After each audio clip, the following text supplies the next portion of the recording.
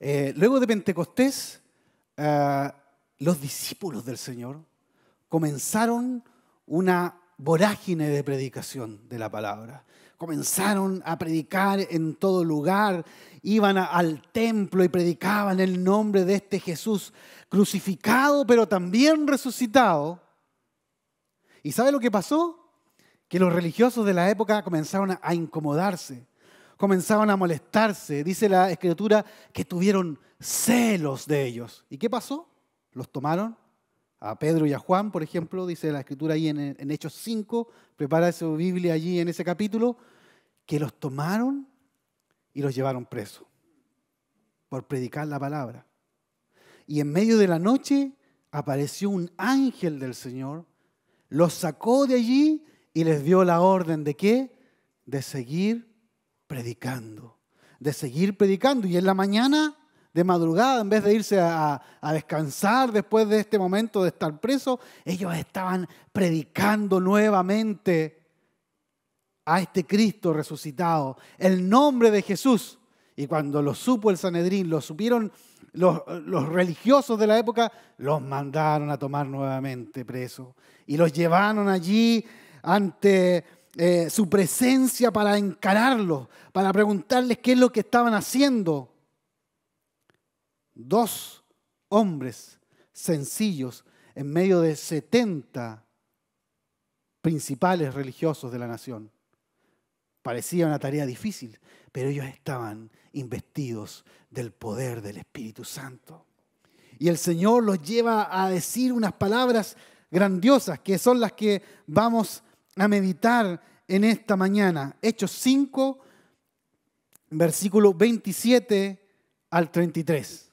Esta es la continuación de la historia que les estoy narrando. Dice, cuando los llevaron y los presentaron ante el concilio, el sumo, el sumo sacerdote les dijo, ¿acaso no les dimos órdenes estrictas de no enseñar en ese nombre, en nombre de Jesús?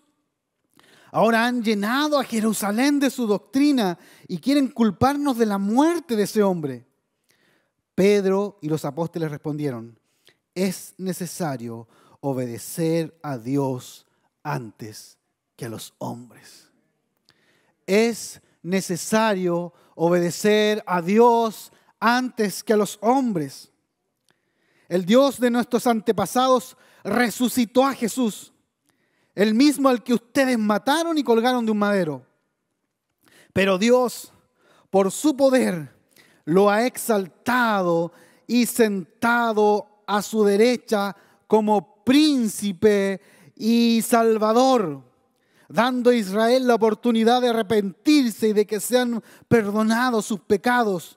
De eso somos testigos nosotros y también el Espíritu Santo que Dios ha dado a quienes le obedecen. Gloria a Dios.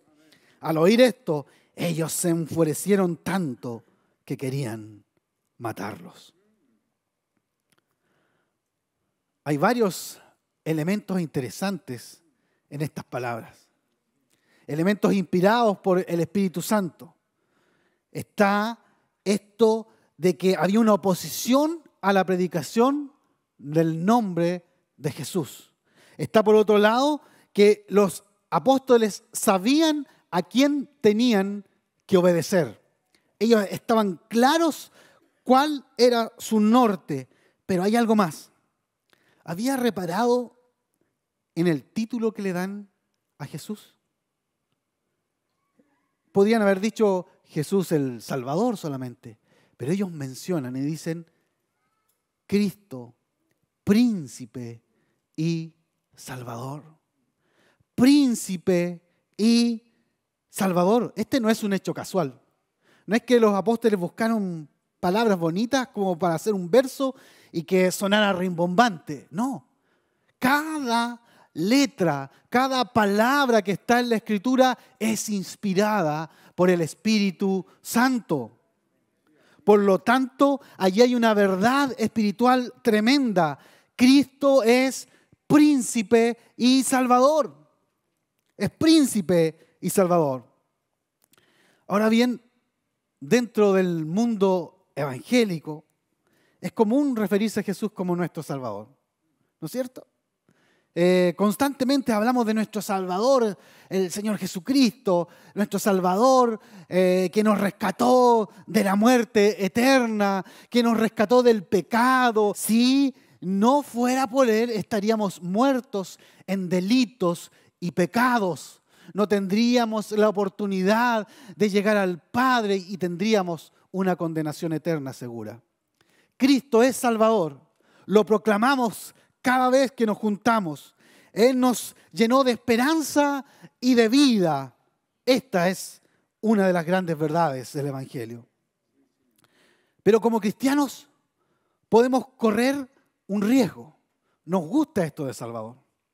Es, digámoslo, la parte más fácil del Evangelio. Hay una salvación que es gratuita, es por gracia, pero el Evangelio completo tiene estos dos títulos de Cristo. Cristo es Salvador, pero Cristo también es príncipe. Cristo es príncipe. Cristo es príncipe. El, el, Evangelio completo es Jesús es Salvador, pero Jesús es también príncipe de nuestras vidas. Si queremos que nada nos falte como cristiano en nuestra visión, eh, nuestra conmovisión cristiana, tenemos que tener claro estos dos fundamentos. Jesús es Salvador, Jesús es príncipe. ¿Qué significa que Jesús es príncipe? ¿Es acaso un vocativo bonito que encontraron para hablar de la nobleza del Señor, que de seguro la tiene? ¿O, o príncipe nos quiere hablar de algo más? príncipe es un título de autoridad. Es un título de gobierno, hermanos míos. En esa época quien era príncipe era quien gobernaba una nación, un pueblo. El título de príncipe nos habla del señorío de Cristo en nuestras vidas. Amén. Porque no puede haber Salvador sin Señor, sin autoridad en nuestras vidas. El Evangelio completo, y lo vuelvo a recalcar, es Jesús es Salvador, pero Jesús es también príncipe, gobernador, autoridad de todo aquel que ha sido salvo. Amén. Para muchos es fácil tener un Salvador. Ah, Cristo me salvó y ahora vivo como quiero. Total, soy salvo y nada puede pasarme. Pero ¿sabe qué? El verdadero creyente, el que ha entregado su corazón a Dios, debe tomar el principio de Jesús como príncipe. Jesús como príncipe. Él es príncipe en toda su majestad. Jesús hoy día gobierna desde las alturas a la diestra del Padre. ¿Y sabe qué más? Cristo volverá como príncipe, con autoridad, con gloria. Ya no vendrá simplemente como Salvador. Como Salvador vino a morir en una cruz del Calvario.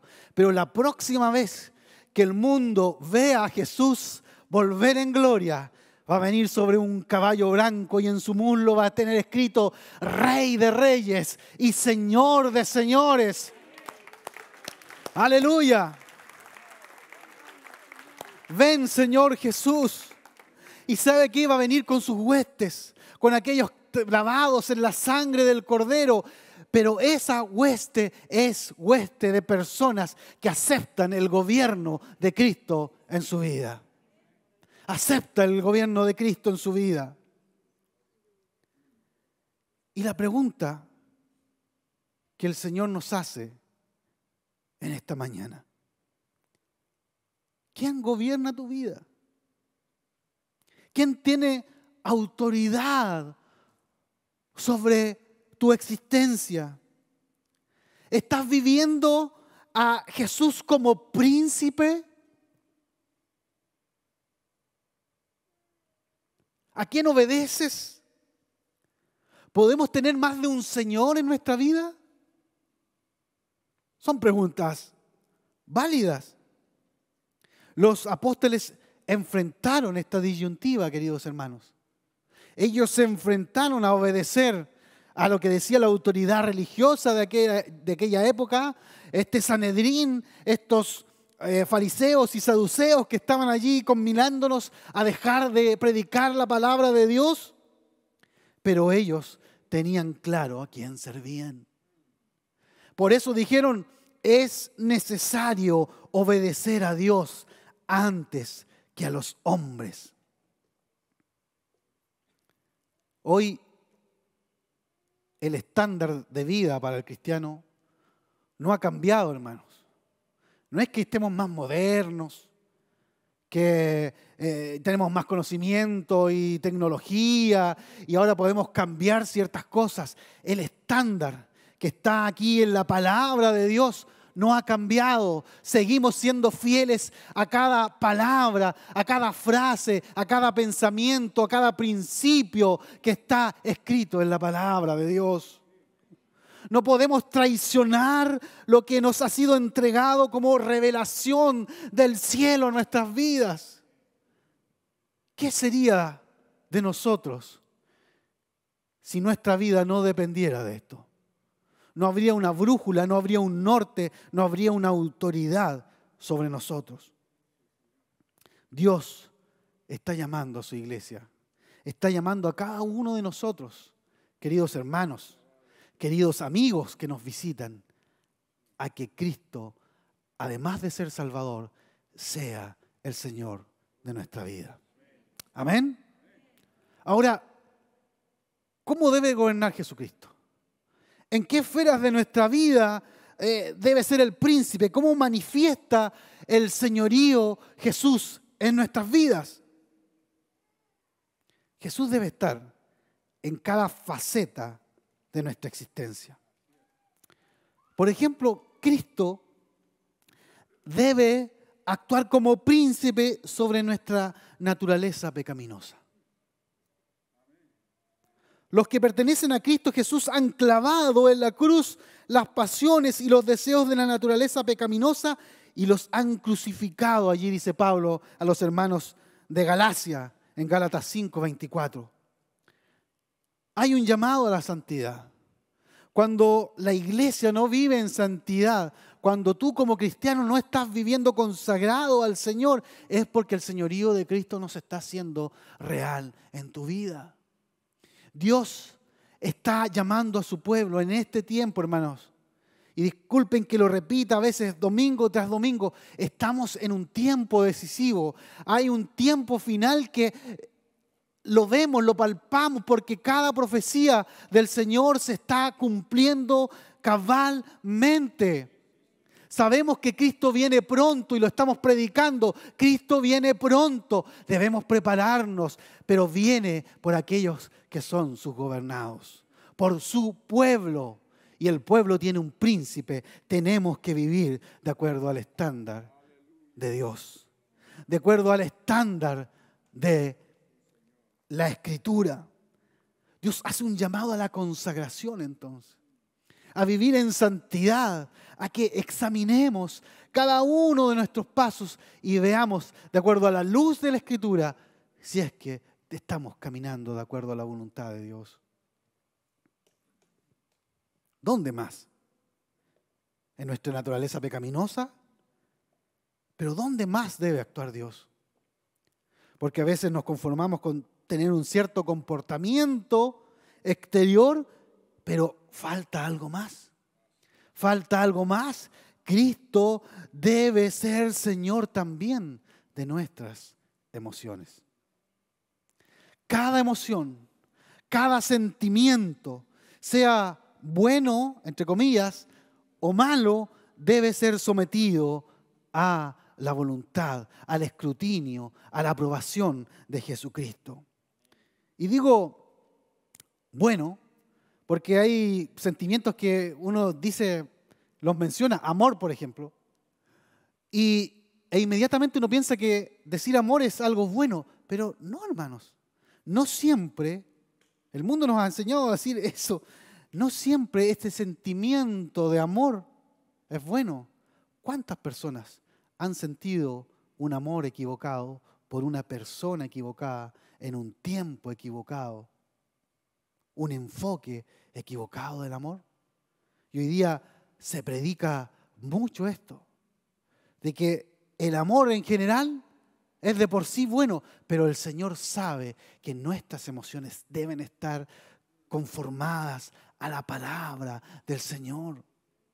Él quiere mostrarnos que hay un camino de amor, que hay un camino de afecto, por ejemplo, en la relación de pareja, en la relación matrimonial. Hay un modelo de amor que Dios ha dejado para el hombre y la mujer para seguir y estar en el completo plan de Dios. Y cuando nos apartamos de ese aparente amor correcto, es que comenzamos a fallar, es que comienza el hombre o la mujer a buscar a otra persona, es que eh, erramos en el camino y en las decisiones que el Señor tiene para nuestra vida. Dios quiere darnos emociones renovadas. ¿Cuántos cristianos se han llenado de amargura? Y de rencor y no pueden perdonar lo que hay en el pasado. Y esas emociones no están sometidas al señorío de Cristo que te dice, perdona, perdona, ama, como revisábamos la semana pasada. ¿Cuántos se han llenado de preocupaciones? Y es verdad, en la vida cotidiana nos llena de preocupaciones. De cómo voy a llegar a fin de mes, ¿Cómo voy a pagar esto? ¿Qué van a hacer de mis hijos, los estudios? Etcétera, etcétera, etcétera. ¿Cómo voy a pagar el dividendo? Y nos llenamos de preocupaciones cuando la Biblia dice, pongan todas sus preocupaciones y ansiedades en las manos de Dios, porque Él cuida de ustedes. Y es que a veces necesitamos tener el control de todo. Queremos saber que tenemos el control de todo y no entendemos que nuestras emociones, nuestras preocupaciones todo está en las manos de Dios Todopoderoso. Dios quiere llevar tus preocupaciones, Dios quiere llevar tus dolores, Dios quiere cargar contigo esa mochila pesada y entregarse, entregarte su yugo, su mochila, que dice que es una carga liviana, agradable, porque nos lleva junto a Él. Dios quiere que nuestras emociones estén bajo su gobierno, que nuestras acciones nos lleven a la santidad, estén bajo su gobierno. Pero ¿sabe qué? Dios quiere también que Cristo sea el príncipe de nuestras ideas, de nuestras convicciones, de nuestra mente. Hoy más que nunca es necesario que Jesús sea el príncipe de nuestra mente. Porque el mundo está empecinado en hacernos tener ideas equivocadas, cosmovisiones equivocadas, distintas, que a veces se superponen a la cosmovisión. Cosmovisión quiere decir la forma de ver el mundo. Cosmovisión, hermanos míos, es los anteojos con los que vemos el mundo. Un musulmán ve el mundo de una forma y puede encontrar ciertas cosas buenas y cosas que para nosotros son correctas y, lo encuentra mala. una persona de un, de un, sesgo político ve el mundo de una determinada forma. Una persona que tiene una ideología X, por ejemplo, los feministas radicales, ven el mundo de una forma, ven el mundo de odio entre hombres y mujeres, ven siempre opresión en cada cosa que se ve. Pero nosotros tenemos que mirar a través de los lentes de Cristo y de la palabra. Y muchos cristianos tienen una disociación entre la fe que tienen y cómo ven el mundo. Y entonces están aquí el domingo y ven a Dios de una forma y alaban a Dios de una forma, salen para afuera y comienzan a pensar exactamente como el mundo. Hacen los negocios a la manera del mundo tienen eh, sus familias a la manera del mundo, enfrentan lo político, las ideologías políticas a la manera del mundo y no saben que todo tenemos que verlo a la luz de la escritura, hermanos.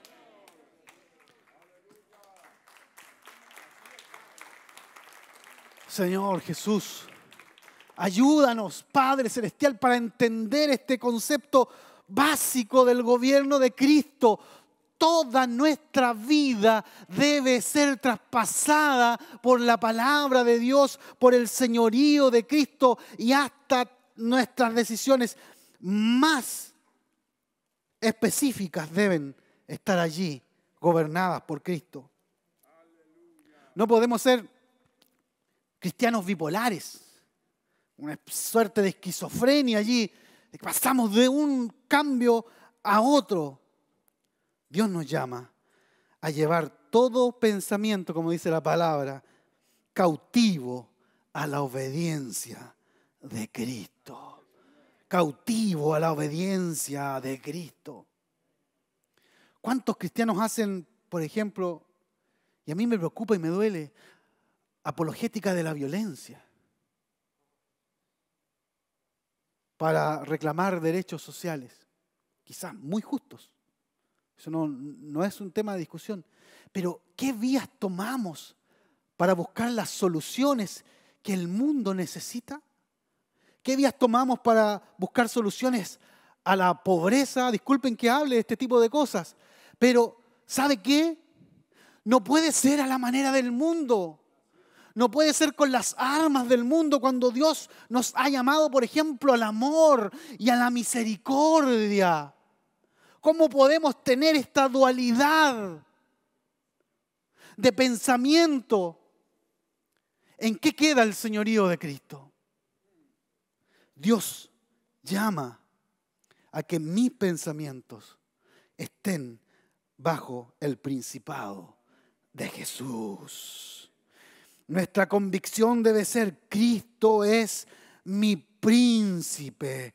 Quiero vivir para Cristo. Quiero predicar esta palabra como lo hacían los apóstoles y considerarla como verdad fundamental de mi vida. Dios nos está llamando, hermanos, a vivir un gobierno de Jesús completo en nuestra vida. Actos, emociones, pensamientos, todo cruzado por el señorío de Cristo. Mire, al igual que en la época en que estaban los apóstoles, ¿se acuerda que el mundo en ese momento resistía el nombre de Jesús? Que este Sanedrín, este concilio, oh, odiaba el nombre de Jesús. No quería escuchar el nombre de Jesús le daba allí una cosa terrible y el mundo no ha cambiado, hermanos. Cambió superficialmente, hoy día tenemos vehículos, vuelos en avión, teléfonos móviles, ah, más ciencia, más tecnología, pero el corazón del hombre sigue siendo el mismo. Y no quiere escuchar el nombre de Jesús se resiste a escuchar el nombre de Jesús, no quiere saber nada de Jesús. ¿Sabe por qué?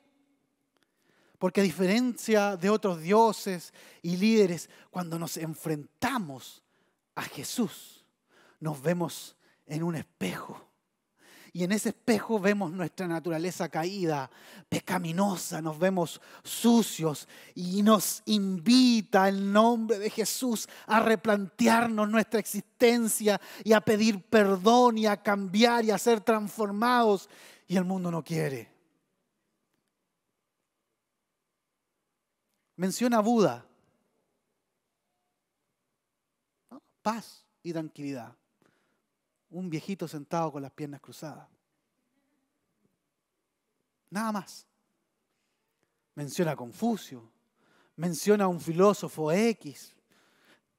Nada. Si te gusta lo tomas, si no lo dejas.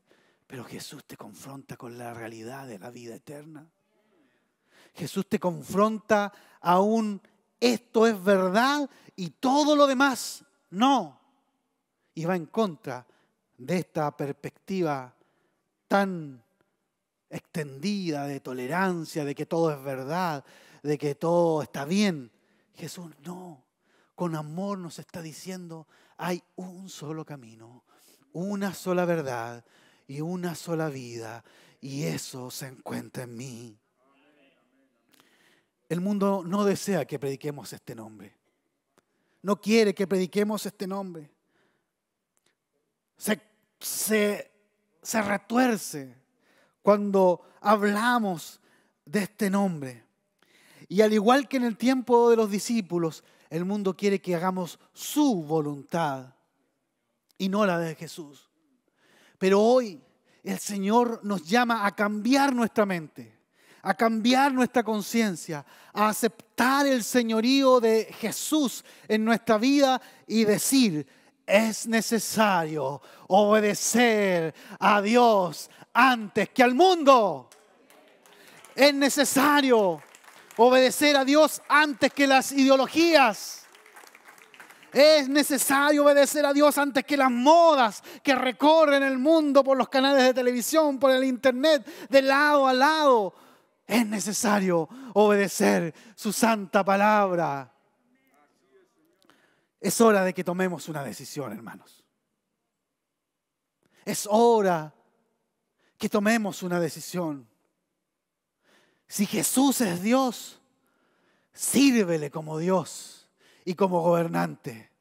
Si no, si no estás convencido de eso, quedas liberado a tu suerte. Pero hoy el Señor nos llama a tomar una decisión. Tomemos el paquete completo. Jesús Salvador de nuestra vida. Gloria a Dios por eso. Jesús príncipe de nuestra vida. Gloria a Dios por eso. No hay tiempo de medias tintas. El tiempo se acaba. Debemos llevar este mensaje de Jesús Salvador y príncipe a cada rincón de nuestra ciudad. Dios nos quiere movilizar, hermano, como iglesia, teniendo este concepto claro, a evangelizar, a evangelizar, a predicar, a predicar el nombre de Jesús. Nombre sobre todo nombre. Cristo volverá como príncipe. Cristo volverá por su pueblo. Un pueblo en victoria, un pueblo que se deja gobernar en todas las esferas de su vida por Él. Hoy es tiempo que se levante una generación de valientes, hombres, mujeres, niños, adultos, ancianos, valientes que saben que Cristo es el Señor que viven en santidad, que sus pensamientos están cautivos al pensamiento de Cristo, que sus emociones son guiadas por Cristo y que predican con valor el nombre de Dios. Jesús fue exaltado como príncipe y salvador. Después de haberse humillado hasta lo sumo, Dios, el Padre, le entregó un nombre sobre todo nombre ante el cual se doblará toda rodilla de los que están en el cielo, en la tierra nosotros y debajo de la tierra. ¿Quieres hoy día ser parte de este pueblo? ¿Quieres ser realmente pueblo de Dios? Tienes que aceptar el señorío de Cristo en tu vida. Acepta el señorío de Cristo en tu vida. No hay otra verdad, no hay otro evangelio. Jesucristo Salvador, Jesucristo Príncipe. Y ese es el pueblo de Dios. Levanta tu mano si quieres comprometerte a vivir para Cristo. Que Cristo tome tus pensamientos, que Cristo tome tus emociones, que Cristo tome el control de tu vida, de tus acciones, de tu matrimonio, de todo lo que haces. El Señor quiere tomar el control. Padre Santo que estás en los cielos, te damos gracias, Señor, porque tú eres bueno, porque tú nos hablas, Señor, porque tú tienes un mensaje fresco para tu iglesia, porque nos estás preparando para tu venida pronta, Señor. Y no estás esperando una iglesia cualquiera dormida, Dios sino que como aquellas vírgenes, esas damas de honor, Señor, con su cántaro lleno de aceite, que claman a ti, que buscan a ti, Señor, que son valerosos y que tienen clara su visión del mundo, de que saben que tú eres el Señor de que son, no solamente tienen, Señor, un Jesús que los salva y ya, sino que saben lo que significó la salvación de la cruz. esa sangre derramada, esas manos horadadas, ese escotado clavado, esa corona de espinas, ese sufrimiento, Señor, ante el cual no podemos decir otra cosa ahora, eres mi príncipe, Señor. Llévanos a la cruz, Señor, cada día a arrodillarnos delante de ella y reconocer tu señorío. Porque después de eso fuiste levantado de los muertos, Señor. Y hoy gobiernas en gloria y majestad, Señor. Transforma tu iglesia, santifica tu iglesia, consagra tu iglesia, Señor. Llénala de valor, de dones, Señor, porque hay una misión. Coloca en nosotros el sentido de misión, de urgencia, de predicar, de salir, de levantar tu nombre en medio de esta generación caída, Señor, para llevar salvación, para llevar el verdadero amor, Señor, a aquellos que lo necesitan, a aquellos que se pierden cada día sin ti, Jesús. Ayuda a tu iglesia, llena la unción, Señor Jesús. Que tu Espíritu Santo comience a moverse cada día, cada semana, cada, cada mes, Señor, en nosotros. Y que comencemos a cumplir la misión que tú nos has encomendado, Dios. Prepáranos, prepáranos, Señor Tienes preparada bendición, tienes preparado avivamiento, tienes preparado renovación, tienes preparada conversiones, Señor. Lo veo en fe, Señor, lo que tú tienes, una visión que pones sobre esta iglesia, Señor tienes preparado, Señor. Bendición abundante, Señor. Este templo se va a llenar de gente, Señor. No porque seamos bonitos o diferentes, Señor, sino porque hemos reconocido tu señorío y con valentía vamos a predicar tu evangelio, Jesús. Gracias, Señor, porque eres bueno, Señor. Tú eres el Señor. Y la iglesia dice, Jesucristo es el Señor. Jesucristo es el príncipe en el nombre de Jesús. Aleluya. Amén y amén.